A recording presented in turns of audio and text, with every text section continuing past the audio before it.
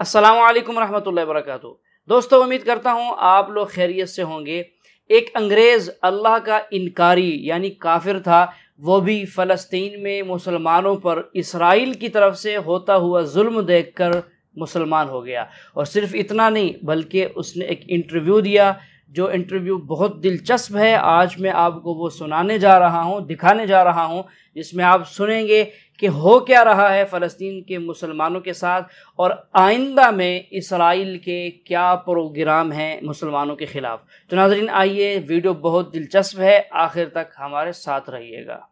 ये समझना नामुमकिन है। ये सब कैसे हो सकता है? उन्हें पता है कि बच्चे, औरतें और मासूम मर रहे हैं। वो जानते हैं।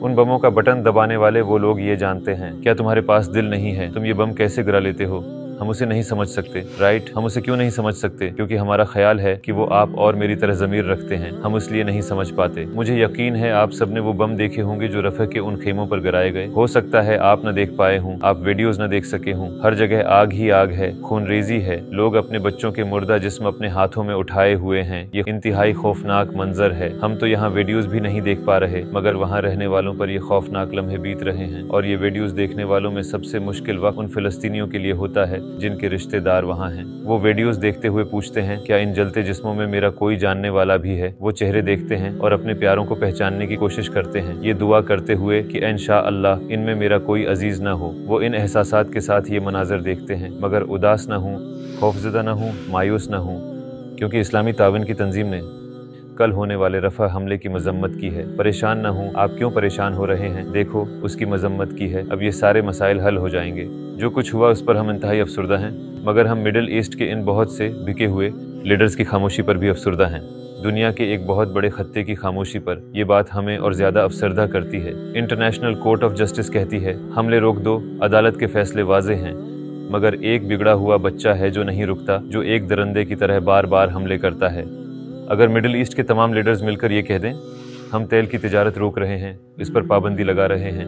मतलब अगर इसराइल के इर्द गिर्द तमाम ममालिक, फ़जाई और हर तरह की तजारती पाबंदी लगा दें तो पूरी दुनिया इस बात पर उनका साथ देगी। अगर वो कह दें, बस बहुत हो चुका, बच्चों और औरतों का कत्ल बंद करो, मासूम लोग मर रहे हैं। अगर वो बिगड़ा हुआ बच्चा फिर भी कहता रहे, मैं नहीं रुकूँगा, नहीं। और वो जवाब में कहें, ठीक है, हम पूरी दुनिया की तरफ़ से तुम पर तजारती पाबंदी लगा रहे हैं। तो आप जानते हैं, उस सूरत में क्या होगा। देखो, तीन दिन भी बहुत हैं, शायद एक ही दिन में सीज फायर हो जाएगा। आप फिलिस्तीनी बच्चों को पार्क में खेलता देखने लगेंगे। आप वो दिन भी देखेंगे। आप दर्द और गम से पाक दिन देखेंगे। देखो, बस ये कह दो, हम तजारती पाबंदी लगा देंगे। कोई जंग, कोई राकेट नहीं, किसी और पाबंदी की ज़रूरत नहीं। बस तजारती पाबंदी और वो एक दिन में इंसान के बच्चे बन जाएँगे, मगर ऐसा नहीं होता। क्यों? क्योंकि सिर्फ़ इसराइल ही बुरा नहीं है। बिके हुए लीडर्स, दीगर मंसूबे, दीगर फ़ायदे भी दरमियान में हैं। इसीलिए कोई इतिहाद नहीं है। आप तकरीबन जानते ही हैं कि क्या कुछ हुआ। इसराइल फ़लस्तियों को शमाल से जनूब में भेजना चाहता था और वो चले भी गए। उन्होंने सात आठ मरतबा अपनी जगहें बदलें और आखिरकार एक कैंप में ठहर गए। रफा में वो इलाका जहाँ इसराइल ने उन्हें रुकने को कहा था, फिर जब वो लोग सो रहे थे तो उनके खेमों को आग के अंगारे बना दिया गया। बताया जाता है कि उस इलाके पर आठ राकेट गिरे और मनाजिर इंतहाई खौफनाक थे। मैं ज़्यादा तफसील में नहीं जाना चाहता, क्योंकि मुमकिन है आप अपसेट हो जाएँ। हमारे 45 फ़लस्तनी भाई और बहनें शहीद हुए, ज़ख्मियों की तादाद बढ़ रही है और शहदा की तादाद भी मुसलसल बढ़ रही है। कितनी अजीब बात है है ना? उन्होंने कहा, जनूब में जाओ, वो महफूज जोन है। ओके, वो महफूज जोन में चले गए और वहाँ तुमने शहरियों, मासूम लोगों पर बमबारी शुरू कर दी। जैसे हिटलर लोगों को किसी खास जगह जमा करता और वहाँ उनका इज्तमाही कत्ल करता था। राइट, ये बिल्कुल वैसा ही है। जैसे लोगों को गैस चैम्बर्स में जमा करना, तुम लोगों को एक मखसूस जगह जमा करते हो। कहते हो कि ये महफूज जोन है। इंटरनेशनल कम्युनिटी भी कहती है, ये महफूज जोन है। और फिर महफूज जोन कहलाने वाली उसी जगह पर जहाँ मासूम लोग जमा हो जाते हैं तो तुम उन्हें कत्ल करना शुरू कर देते हो। क्या हुआ था? क्या रॉकेट्स गलती से वहाँ गिर गए? आठ रॉकेट। क्या वो सारे गलती से चल गए? इतनी एडवांस टेक्नोलॉजी का मालिक इसराइल जैसा मुल्क बिल्कुल सही मकाम पर बमबारी की सलाहियत रखने वाला मुल्क, क्या ये सब वो गलती से करता है? नहीं। शुरू में वो ये वजाहत देते रहे कि इसराइल अपना दिफा कर रहा है, मगर अब ये खून रेजी इतनी बढ़ गई है कि ये इज्तमाही नस्ल कशी बनने लगी है, अब इसकी ये वजाहत नहीं चल सकती। ज़रा तादाद तो देखें, पंद्रह हज़ार दो सौ उनतालीस बच्चे शहीद हो चुके हैं, दस हज़ार तिरानवे औरतें शहीद हो चुकी हैं, सब मिलाकर पैंतीस हज़ार नौ सौ चौरासी लोग शहीद हो चुके हैं। अस्सी हज़ार छः सौ तिरतालीस ज़ख्मी हैं और बेशुमार नाकबिल तस्वुर अजियतों से दो चार हैं जो शहीद नहीं हुए वो भी जीते जी मर चुके हैं मैंने कहा नाकाबिल तस्वर अजियतें क्यों अगर आपका जानने वाला हर शख्स मर चुका हो तो क्या आप इस अजियत के साथ जी सकते हैं क्या इस सब के बाद आप खुश रह सकते हैं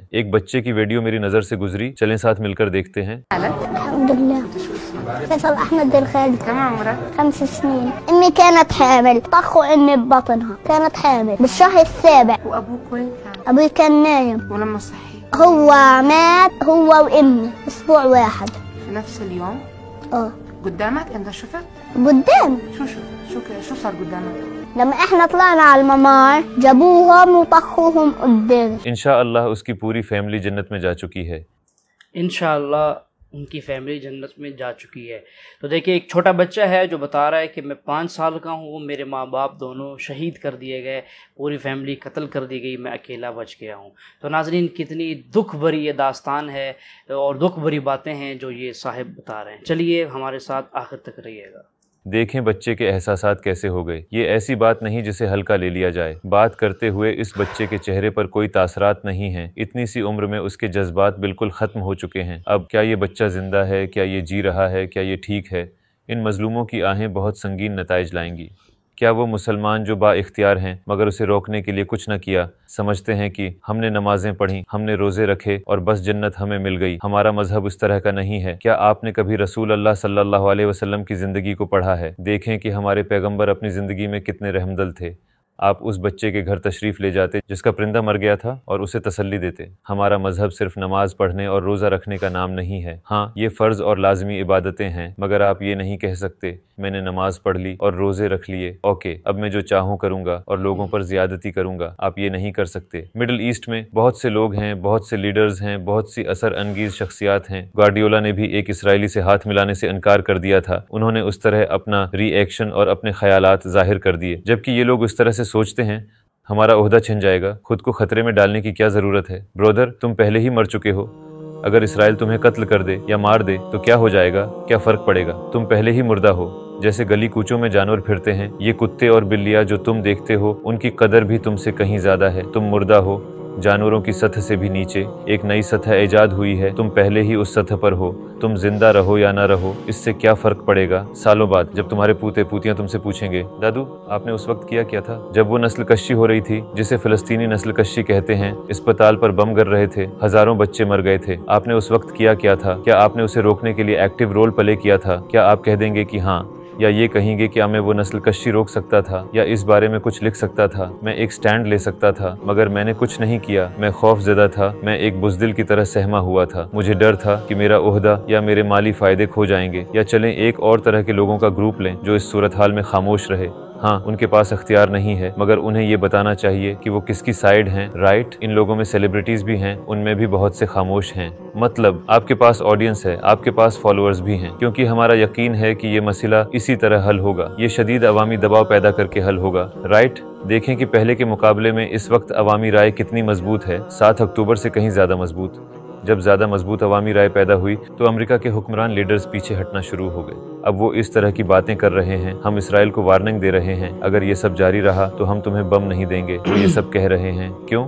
इलेक्शन न हारने के लिए। इन तमाम लीडर्स को अपने फ़ायदों, पैसों और वोटों की परवाह होती है।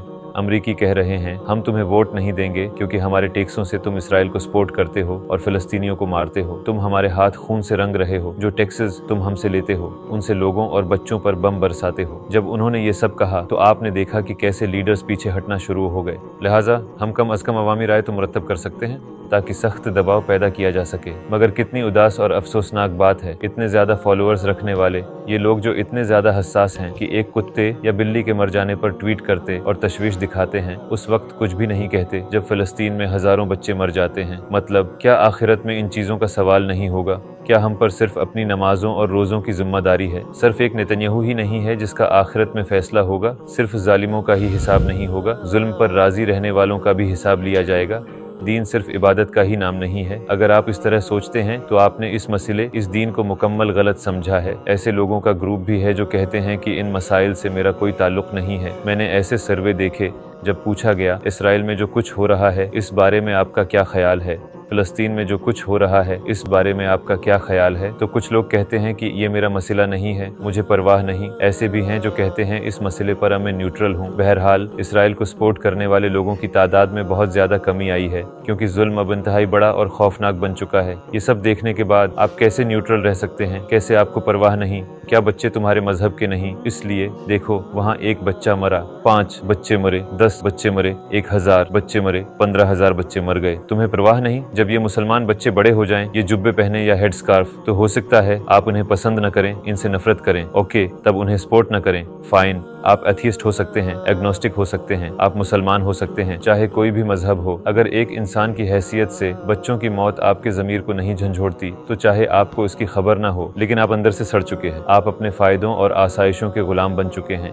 जिस चीज़ में आपका कोई फ़ायदा नहीं होता, आप उसके बारे में एक लफ्ज़ नहीं कहते। मैं ये भी समझता हूँ कि शुरू में, जब सात अक्टूबर के वाकयात हुए तो उन्होंने उसे ये रंग दिया कि ये सब हमास ने किया है, वो मॉन्स्टर्स हैं। इसराइल को अपने दिफा का हक है और इसी तरह की बातें की। उन्होंने उसे ऐसा बनाकर पेश किया कि किसी को भी शुरू में मसला समझ ना आ सके। शायद किसी के जहन में ये हो कि चूँकि मैंने उस वक्त कुछ नहीं कहा था, लिहाजा मैं अब भी कुछ नहीं कह रहा या कह रही, मगर अब मसला बहुत वाजे है। लिहाजा हमें अपने सारे तासुबात एक तरफ़ रखने होंगे और इस मसले पर एक होना होगा और एक अवामी राय पैदा करनी होगी। अगर आप अपने पोहते पोहतियों को ये कहने के काबिल बनना चाहते हैं कि मैंने हक की साइड ली थी, इस वक्त वहाँ नस्ल कशी जारी है। अपनी साइड चुने, ब्रदर, अपनी साइड चुने, सिस्टर। यहाँ मैं खसूस अपने इंसानी रिश्ते के भाइयों और बहनों से कहना चाहूँगा, जो अमरीकी शहरी हैं, क्या आपको एहसास है कि आपकी सपोर्ट के बगैर इसराइल इन बच्चों को, मासूम फलस्तीनियों को कत्ल नहीं कर सकता? मतलब आपकी खरीदी हर चीज़ में टैक्स भी शामिल होता है, और अमरीका के सरबराह ये टैक्स की रकम लेकर कहते हैं, हम इसराइल को सपोर्ट करते हैं। अदाद व शुमार मौजूद हैं। वो छोटी मोटी अमदाद नहीं, बल्कि कई बिलियन डॉलर्स दे रहे हैं। अगर अमरीका इनकार कर दे तो ये नस्ल कशी खत्म हो जाएगी। हाँ आपकी नीयतें अच्छी हो सकती हैं। आप नहीं चाहते होंगे ऐसा हो, मगर हकीकत यही है कि आपके टैक्सेस के बगैर ये सब नहीं हो सकता था। मैं ये तकरीर क्यों कर रहा हूँ? आप यकीन खुद को मुजरिम महसूस कर रहे होंगे। हाँ शायद आप सोच रहे हों, मेरी नीयतें नेक हैं, मेरी कोई बुरी नीयत नहीं तो आखिर में क्या करूँ? एक अवामी राय मुरतब करें, कहे हम इस नस्ल कशी को सपोर्ट नहीं करते?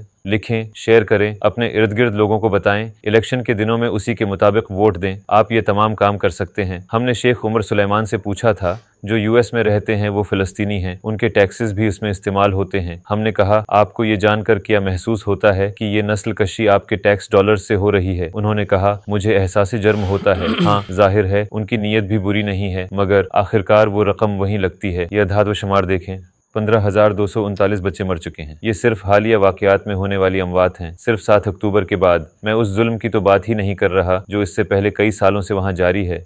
पैंतीस हज़ार लोगों से भरा हुआ पूरा स्टेडियम पिछले आठ महीनों में ज़मीन के नीचे जा चुका है सिर्फ़ इन जालिमों की वजह से। इसके बरअक्स सूरत को सोचें। सात अक्टूबर को एक वाकया हुआ, तब इसराइल ने एक हंगामा खड़ा कर लिया और दुनिया की राय को अपने हक में कर लिया। उसने इस तरह की बातें बनाई कि हमारे बच्चों के सिर तन से जुदा किए गए, औरतों का रीप किया गया, उनकी छातियाँ काट दी गईं। लोगों ने उन पर यकीन किया, मगर कोई सबूत न मिला।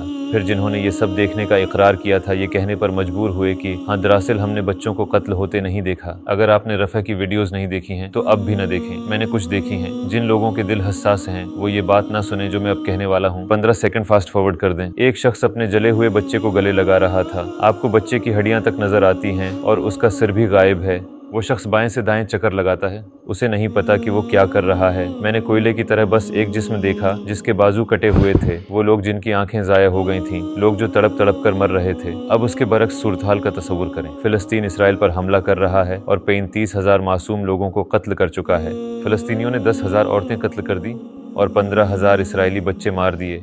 पंद्रह हज़ार इसराइली बच्चे जरा इस सूरत का तस्वुर करें। सात अक्टूबर को उन्होंने कुछ वाकयात का बहाना बनाया और दुनिया की अवामी राय को अपने हक में कर लिया। मगर जरा इसके बरक्स सोचें। आपने सुना कि क्या हुआ था? एक इसराइली बच्चे का सर काटा जाता है। वो पूरे इलाके को जला डालते हैं। क्या आपने सुना कि फिलिस्तीन ने इसराइल के अस्पतालों पर बमबारी की? उन्होंने इसराइलियों को जनूब में जाने को कहा हो और दो मिलियन लोगों को ज़बरदस्ती उनके घरों से निकाला हो। तमाम इसराइली जनूब की तरफ़ गए हों और फिर उन्होंने उनके खीमों पर रॉकेट बरसा दिए हों। अगर ये सब हुआ होता तो क्या दुनिया की अवामी राय यही होती? वो अभी फलस्तीन को मामूली सपोर्ट दे रहे हैं। इस तस्वुराती सूरत हाल में क्या वो इसराइल को मामूली सपोर्ट देते या वो ये कहते कि निकालो, अपने न्यूक्लियर बम और ये सारे बम फलस्तीनियों पर गरा दो। और बिल्कुल रहम ना करो, फिर वो बमबारी करते और लोग उन तस्वीरों को आंसुओं के बगैर सुकून से देखते। कितनी दिलचस्प बात है, हमारे पैगंबर की एक हदीस है, आपने फरमाया। तुम में से जो शख्स कोई बुराई देखे, वो उसे अपने हाथ से रोके। अगर वो उसकी ताकत ना रखता हो तो अपनी जबान से उसे रोकने की कोशिश करे। अगर वो उसकी भी ताकत ना रखता हो तो अपने दिल में उसे बुरा जाने, और ये ईमान का सबसे कमज़ोर दर्जा है। आए मिलकर एक स्टैंड लें। ये बताएँ कि हम किसकी साइड हैं, और जो हम कर सकते हैं, वो करें। अगर आप पूछें कि, इसराइल का अख्ताम क्या होगा? क्या इन लोगों का हिसाब लिया जाएगा? तो मैं कहूँगा, इनका हिसाब ज़रूर लिया जाएगा। क्या ये इसी दुनिया में होगा? हो भी सकता है।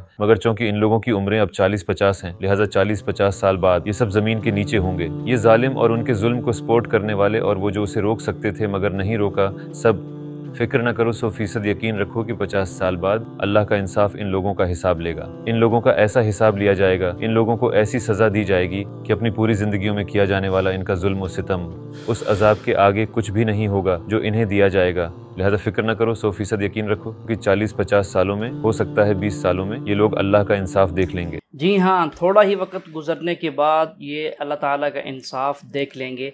भाई साहब, बहुत उम्दा गुफ्तु कर रहे हैं। और आपने देखा, सुना कितना नुकसान हुआ, कितने हज़ार बच्चे जो है वो फ़लस्तनी शहीद हो गए और कितने मर्द शहीद हो गए, ख़वातीन शहीद हो गई। उनको गज़ा से निकाल कर रफ़ा की तरफ़ भेज दिया गया कि वहाँ पर महफूज जोन है, वहाँ रहो जाकर। जब वो लोग वहाँ पहुँचे, खैमे लगाए और वहाँ पर रहना शुरू किया तो ऊपर से बमबारी कर दी गई और उनको भी शहीद कर दिया गया। तो नाजरीन, ये बहुत बड़ा जुल्म है। इसमें जिन लोगों का हाथ है और जिन लोगों का ताउन है और जो लोग इस पर खुश भी हैं कि ये ठीक हो रहा है, वो सारे के सारे इसकी लपेट में आएँगे। चाहे वो मुसलमान हों, चाहे गैर मुस्लिम हों, इस वक्त मुस्लिम जितने भी ममालिक हैं, उनके जो हुकूमतें हैं, उन हुकूमत वालों को चाहिए कि वो बाइकाट करें। जैसे कि ये भाई साहब कह रहे हैं कि अगर सिर्फ़ और सिर्फ़ तेल बंद कर दिया जाए। आसपास के ममालिक इसराइल की तरफ़ तेल जाना बंद कर दें, रुकावट कर दी जाए तो इसके अकल ठिकाने आ जाएगी और ये हमला करना छोड़ देगा। लेकिन क्या है जी, हमारे मुसलमान, क्योंकि उनकी जो खोपड़ियाँ हैं, वो पैसों से भरती नहीं हैं, लालच इतनी ज़्यादा है कि बस पैसा पैसा और पैसा होना चाहिए। और इसके साथ साथ जितने पॉलिटिशियन लोग होते हैं, भाई भी ये कह रहे हैं कि इनको सिर्फ़ और सिर्फ़ अपने पैसे और अपनी अपने अहदे का फ़िक्र होती है। इसके अलावा उनको इंसानियत की फ़िक्र नहीं होती, उनको मज़हब की किसी किस्म की फ़िक्र नहीं होती। जितने भी लोग हैं या जितने ममालिक के सरबरा हैं, उनको फ़लस्तीन की, मुसलमानों की किसी किस्म की फ़िक्र नहीं है कि उनका कितना नुकसान हो रहा है। सिर्फ़ वो उनका नुकसान नहीं है, बल्कि पूरी दुनिया के उम्मत मुस्लिमा का ख़ासा नुकसान हो चुका है। तो नाजरीन, मज़ीद सुनिए भाई साहब क्या कहते हैं।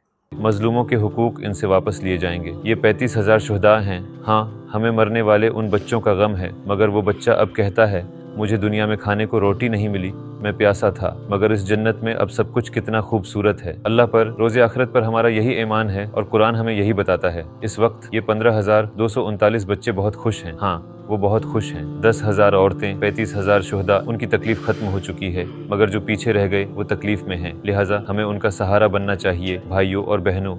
और इसराइल का इंजाम क्या होगा? क्या एक दिन ये जुल्म और सितम वाकई ख़त्म हो जाएगा? हमारा रब सुरातुल इसरा की चौथी और आठवें आयत के दरमियान इन सवालात के जवाब दे चुका है। इन आयात में अल्लाह फरमाता है, यहूदियों ने ज़मीन पर दो मरतबा फसाद मचाया और उसके नतीजे में इन पर दो मरतबा जालिम मुसलत हुए, जिन्होंने उनके शहर तबाह कर दिए और उन्हें घरों से निकाल दिया। ऐसा पहली मरतबा पाँच सौ अठानवे बीसी में बेबीलोनियंस की तरफ़ से हुआ और दूसरी मरतबा सतर एडी में रूमियों की तरफ़ से। और आज के दिन से उन वाकयात का क्या ताल्लुक बनता है? अल्लाह ताला आयत में बनी इसराइल से खिताब करते हुए फरमाता है एन मुमकिन है कि अब तुम्हारा रब तुम पर रहम करे, लेकिन अगर तुम फिर वही करोगे तो हम भी दोबारा वही करेंगे। अल्लाह फरमाता है, तुम्हारे साथ दोबारा वही होगा जो माजी में हो चुका है। आपको मालूम होगा कि जुल्म जब बरकरार रहे तो वो ख़त्म नहीं होता, मगर जब बढ़ जाए तो ख़त्म हो जाता है। जब ये बढ़ता है तो लोगों के ज़मीर झंझोड़ देता है। जब ये बढ़ता है तो लोग रिएक्ट करते हैं, बिल्कुल ऐसे ही जैसे आज हो रहा है। एक अवामी राय बन चुकी है। एक मुश्तरक शौर पैदा हो चुका है और जुल्म का खात्मा इसी तरह हुआ करता है। पूरी तारीख में ज़मीन पर बहुत से जालिम आए और हर मरतबा, हर जालिम का इंजाम एक जैसा ही हुआ। इन अल्लाह इस बार भी ऐसा ही होगा। आए हम अपना किरदार अदा करें, आए हम अपनी साइड शो करें। अल्लाह उन जालिमों को बर्बाद करेगा। इन अल्लाह अल्लाह ताला इन ालिमों को बर्बाद करेगा इन नाजरीन, इस दुनिया के अंदर आप हिस्ट्री उठाकर देख लें, जितने भी ालिम बादशाह गुज़रे हैं या किसी अहदे पर फायज ालिम लोग गुज़रे हैं, उनका अंजाम बहुत भयानक नाक हुआ है। फ़िरौन को देख लें, इसी तरह नमरूद को देख लें, और फ़िरौन का जो कज़न था हामान, उसको देख लें।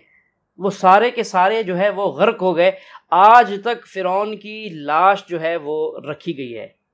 और आज तक वो इबरतनाक बनाई, बना दी गई है अल्लाह ताला की तरफ़ से कि लोग ऐसे ालिम से इबरत हासिल करें कि वो ालिम बनी इसराइल के बच्चों को चुन चुन कर मार दिया करता था, कत्ल कर दिया करता था। जब उसको किसी नजोमी ने बताया कि फ़िरौन तुम, तुम्हारे लिए अनकरीब एक बच्चा पैदा होने वाला है जो तुम्हारी सल्तनत का भी ख़ात्मा करेगा, तुम्हारा भी ख़ात्मा करेगा।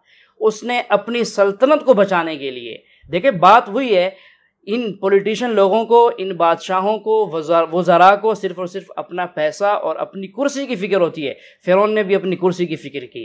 कुर्सी की फ़िक्र करते हुए उसने हज़ारों जो है वो बनी इसराइली बच्चों का कत्ल किया कि कहीं कोई बच्चा बड़ा होकर मेरी कुर्सी का, मेरी सल्तनत के ख़ात्मे का सबब न बने। लेकिन आखिरकार अंजाम वही हुआ। अल्लाह ताला ने उसके घर के अंदर एक बच्चे की परवरिश की और बच्चा घर में पैदा होकर जवान हुआ। वही अल्लाह ताला के हुक्म से मुकाबिल खड़े होकर हज़रत मूसा सलाम ने उस ालिम को जो है इस दुनिया से ख़त्म किया और वो अल्लाह ताला के हुक्म से जो है वो समंदर के अंदर डूबा, गर्क हुआ। आज तक उसकी लाश जो है वो इबरत वाली बनी हुई है। इसी तरह नमरूद, देखिए, बादशाहों को हलाक करने के लिए अल्लाह ताला कोई बड़े बड़े इसबाब इख्तियार नहीं करते होते। नमरूद के कान में एक मच्छर घुसा और उसकी हलाकत का सबब और बायस बन गया। तो आज के ये ालिम और जाबिर लोग जो इस वक्त मुसलमानों पर जुल्म सितम कर रहे हैं, तरह तरह के जो है वो उनको जबर कर रहे हैं, उनके लाशें जो है वो ख़त्म की जा रही हैं। यहाँ तक कि लाशें मिलती नहीं हैं। किसी का पाँव मिलता है तो किसी का सर मिलता है, किसी की आँखें ख़त्म हो गई। तो उनके ऊपर जो जुल्म करने वाले हैं अल्लाह ताला की तरफ़ से जब भी उनके लिए आएगा अजाब तो ये भी उन फ़िरौन और नमरूद की तरह हलाक हो जाएँगे, बर्बाद हो जाएँगे। तो लेकिन सिर्फ़ ये है कि अल्लाह ताला की तरफ़ से मदद कब आएगी, ये अल्लाह से मदद मांगने की ज़रूरत है। इस वक्त बहसीत उम्मत मुस्लिमा, हम सबको बहुत ज़्यादा फ़िक्रमंद होकर अल्लाह की तरफ़ रुजू करने की ज़रूरत है, क्योंकि हमारे हुक्मरान बेहिस हो चुके हैं। हमारे हुक्मरानों को फ़िक्र इस बात की ख़त्म हो चुकी है कि उम्मत मुस्लिम है और इंसानियत है। कम अज़ कम इंसानियत की तरफ़ तो आ जाते, अगर मजहबी उमूर की तरफ़ ना देखते, भी मुस्लिम हैं, मुसलमानों का नुकसान हो रहा है। नहीं इसकी तरफ़ अगर ना आते, इंसानियत को फॉलो करते हुए कम अज़ कम ये सोचते कि एक इंसान है और उनके साथ इतना जुल्म सितम हो रहा है, वो ख़त्म कर दिया जाए। लेकिन नहीं है, बेहिस हो चुके हैं। तो हमें अल्लाह की तरफ़ रुजू करके अल्लाह से मदद मांगने की ज़रूरत है। अल्लाह मनसुरना अल्लाह मनसुरमसलिमिन वलमसलिमात अल्लाह सारे इंसानों की जो मुसलमान हैं पूरी धरती में, उनकी अल्लाह ताला हिफाजत फरमाए, मदद फरमाए और ालिमों के शर से उनकी हिफाजत फरमाए और ालिमों को अल्लाह ताला जो है नेज़ तो नाबूद करे। तो नाजरीन, आज का हमारा इस वीडियो का इंटरव्यू आपने देखा, कैसा लगा आपको? उम्मीद करता हूँ अच्छा लगा होगा। आपने अपना तासर पेश करना है, कमेंट करके ज़रूर कीजिएगा और इसके साथ साथ वीडियो को लाइक और शेयर भी कर दीजिएगा और हमारे चैनल को सब्सक्राइब लाजमी कीजिएगा।